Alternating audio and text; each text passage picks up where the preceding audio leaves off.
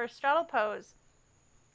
And face the long edge of the mat and bring the legs open.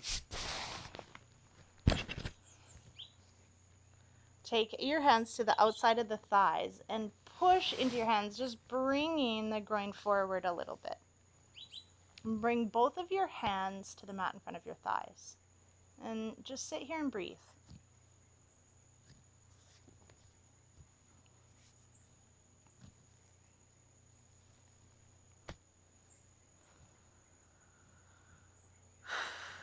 So as I just mentioned, I think a great way to open up for straddle, because this can be a very difficult posture for, I would say, a lot of people, is to come in slow. So start with straddle upright. Plant the palms inside.